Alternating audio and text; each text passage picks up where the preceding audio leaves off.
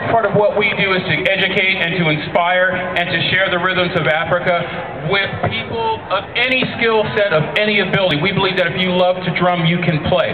So say the word djembe.